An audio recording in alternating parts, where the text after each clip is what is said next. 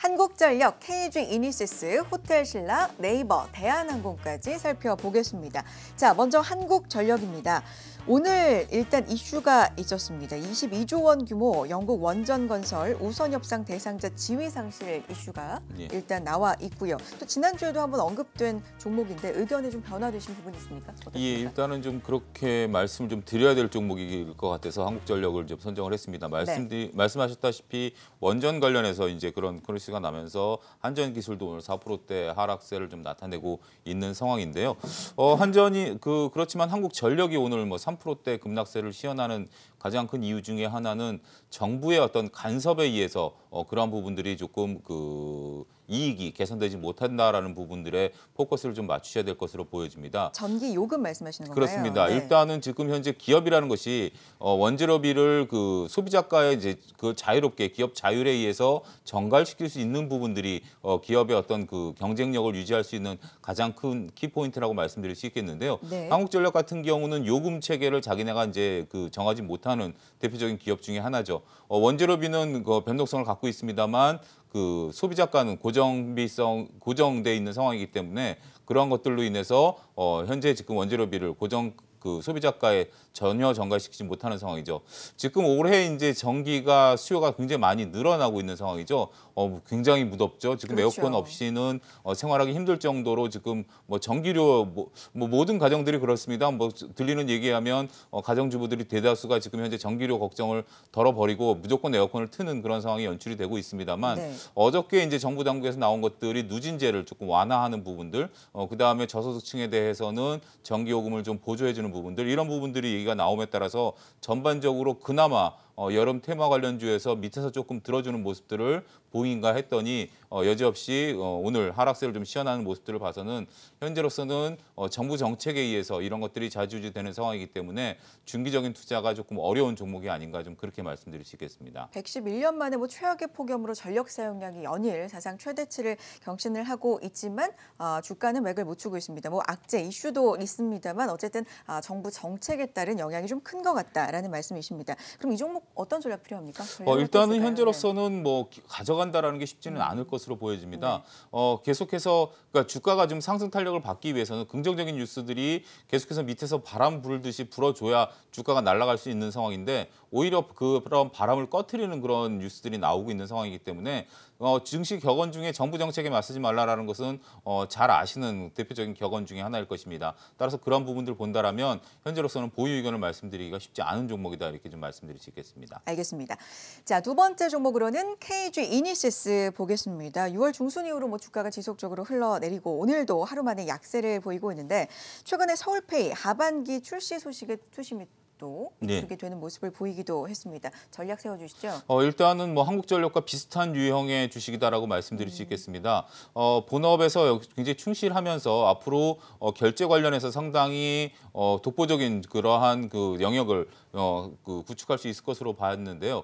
일단은 두 가지 악재 현재 직면해 있죠. 하나는 서울페이라는 정부가 주도하는, 그러니까 어떻게 보면 지방 정부가 주도하는 강력한 결제 시스템이 나오게 됨에 따라서 일반 어, 결제 시스템이 좀 흔들릴 수 있는, 근간이 흔들릴 수 있는 그런 부분들이 첫 번째 이유고요. 이에 따라서 전반적으로 지금 정부와 지방 정부가 내세우고 있는 것들이 어, 수수료의 인하 부분들이죠. 어, 따라서 인위적으로 수수료 인하 압력을 받고 있는 그런 상황이기 때문에 그렇게 된다라면 상당 부분 수익성이 훼손될 가능성이 있습니다. 또 한 가지 지금 신용카드에 대해서 어 일단은 뭐 소액 결제에 대해서는 거부할 수 있는 어 그런 부분들에 대한 논의까지 국회에서 현재 진행되고 있다라면 물론 소액 결제 부분에 있어서는 적자를 보고 있죠. 만 원 이하 결제에 있어서는 적자를 보고 있는 부분들이 분명히 있습니다만 그렇다 하더라도 신용카드를 거부할 수 있는 부분들이 어 인정이 된다라면 과거처럼 사용량이 그렇게 의무적으로 했을 때보다는 줄어들 가능성이 있기 때문에 네. 여러 가지 지금 어, 정부 정책에 의해서 어, 이 상당 부분 고전하고 있는 그런 종목이다라고 말씀드릴 수 있겠습니다. 그렇군요. 앞선 한국전력도 그렇고 두 번째로 살펴본 KG 이니시스도 정책의 영향으로 인해서 좀 약세를 보이고 있는 측면이 많은 것 같다라는 분석이십니다.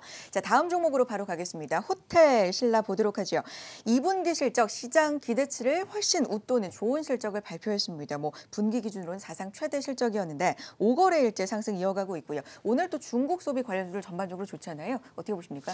그동안 좀 급락세를 시현한 것에 비하면 내용들이 너무 좋게 나와서 약간 그 급락에 그 손절매를 하셨던 분들은 좀 당혹스러워하는 그런 주식이 아닌가 이렇게 좀 말씀드릴 수 있겠습니다. 일단은 어, 주- 전체적으로 주가가 조정을 한 차례 좀 세게 받았었죠. 13만 원까지 움직인 이후에 어, 9만 원대까지 일단은 실적에 대한 어, 전망에 대한 외국계 리포트에 의해서 어, 주가가 조정을 받았었던 그런 종목입니다. 네. 한없이 떨어질 것 같아서는 주가가 현재 어느덧 어, 10만 원대 중, 어, 10만 원대를 어, 회복하는 그런 모습들을 좀 보여주고 있는데요. 음. 어, 현재 실적 말씀하셨다시피 실적이 긍정적으로 나왔다라는 것들 여전히 실적에 대한 우려감들에 대한 걱정 없이 실적이 긍정적으로 나오고 있다라는 것이 상당히 우호적이다라는 게 첫 번째 이유고요. 두 번째는 오늘 대중국 관련주들 오래간만에 훈풍이 좀 불고 있는 그런 상황입니다. 중국의 단체 관광객들이 늘어날 수 있다라는 부분들 지금 명동을 나가 보시면 그 뭐 신세계나 롯데 주위에 어, 관- 어, 그 한동안 보이지 않았던 그러한 관광 버스들이 현재 좀 보이기 시작하고 있습니다.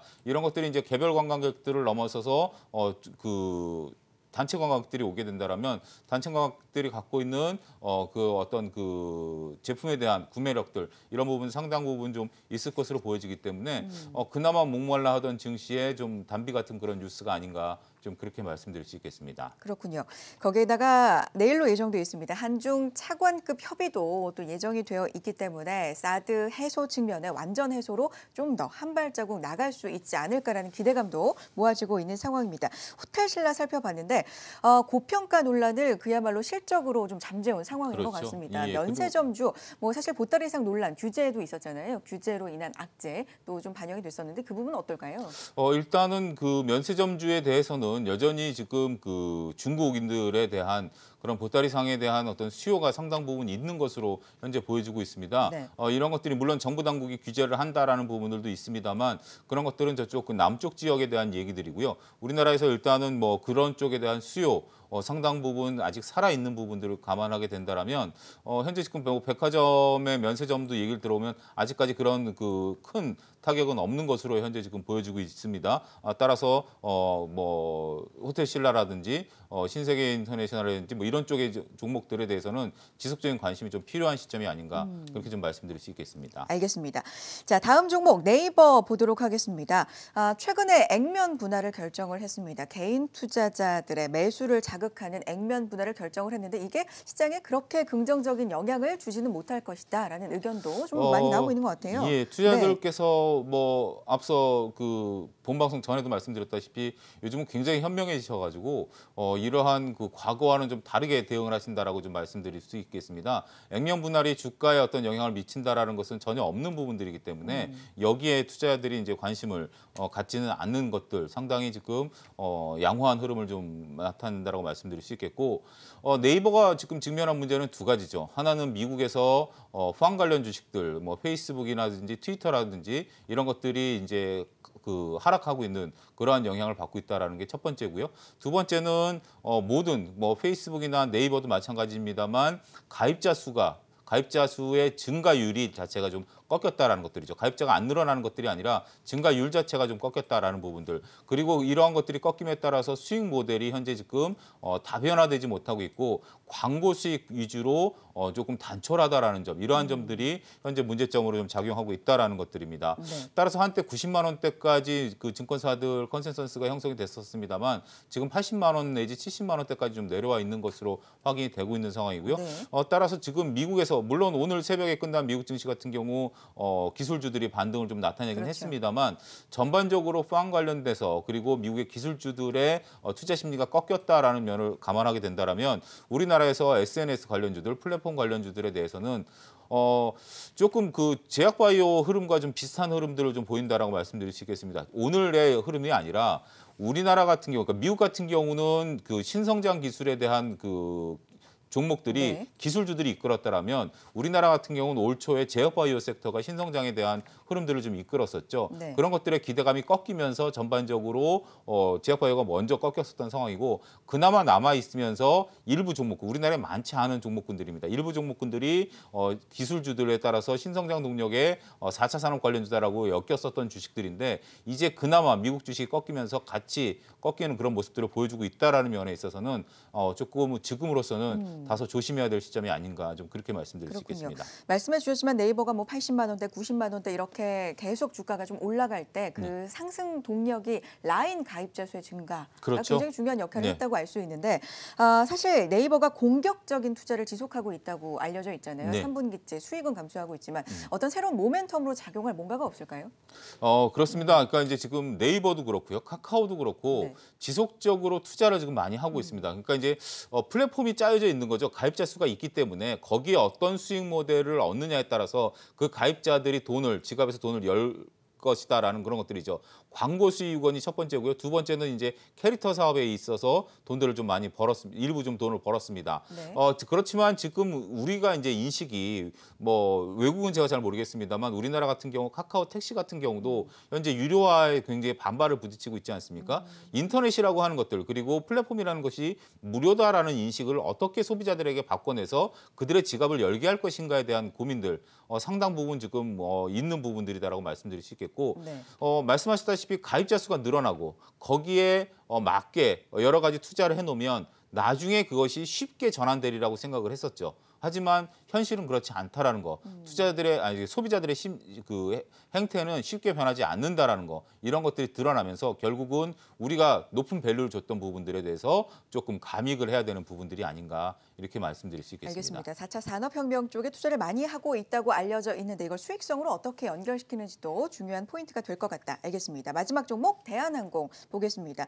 아, 2분기 실적에 대한 우려감에 좀 투심이 위축되면서 하락하는 모습을 보였는데 어제 이어서 항공주도 상승하는 흐름 보이고 있습니다. 어떤 전략 필요합니까? 어, 일단은 대한항공 같은 경우 뭐 여러 가지 이슈들이 좀 많이 있는 종목입니다. 따라서 어, 대한항공을 선뜻 이렇게 말씀드리기가 쉽지는 않습니다. 어제 청문회가 있었고요. 6일 날 또 청문회가 있습니다. 진에어에 관련돼서 어, 청문회가 있는 상황이기 때문에 진에어가 만약에 면허가 취소된다 이렇게 된다라면 대한항공에도 뭐 호불호가 좀 갈릴 수 있는 그런 부분들이 좀 충분히 연출이 될 가능성이 높죠. 어, 그런 부분들 감안하게 된다라면 대한항공을 선뜻 투자하기 좀 어렵고 그 다음에 또 한편 으로 본다라면 그 유가가 현재 지금 70달러에서 어, 오르락 내리락 하는 모습들을 좀 보여주고 있기 때문에 네. 유가 수혜주라고 보기도 좀 어렵습니다. 하지만 어, 이런 것들은 현재 지금 주 가 상황 여러 가지 이제 주식은 우리가 접근할 수 있죠. 심리적인 접근, 기술적인 접근, 어, 그다음에 뭐 내재 가치에 대한 접근 여러 가지가 있습니다만 지금은 차트에 의한 기술적 접근이 가능한 시점이 아닌가 좀 그렇게 보여지는 상황입니다. 어, 차트가 완연히 쌍바닥을 찍은 그러한 모습들이 좀 나오고 있고 오늘 갭상승하는 모습이 나오면서 어, W자형의 오른쪽 날개를 지금 치고 올라가는 그런 모습들을 좀 보여주고 있습니다. 어, 이런 것들은 일부 투자자들의 현재 관심이 모여 있다라는 부분들이고 제반 악재들에 대해서 더 이상 반응하지 않겠다라는 그런 어떤 강력한 신호로 좀 보여집니다. 따라서 그런 부분들 감안하게 된다라면 어, 기술적 반등을 이용한 trading 관점에서 접근은 가능한 종목이 아닌가 좀 그렇게 말씀드릴 수 있겠습니다. 알겠습니다. 대한항공까지 살펴봤고요. 대한항공에 국한된 얘기입니까? 아니면 항공주 전반에 대한 얘기입니까? 일단 대한항공에 좀 국한돼서 좀 살펴봐야 될 얘기라고 말씀드릴 수 있겠습니다. 알겠습니다. 자 개인 투자자들이 궁금해할 만한 종목 다섯 가지 살펴봤습니다. 한국전력, KG 이니시스, 호텔신라, 네이버, 대한항공까지 들어봤고요. 와이즈 경제연구소 차영주 소장 함께했습니다. 고맙습니다. 감사합니다.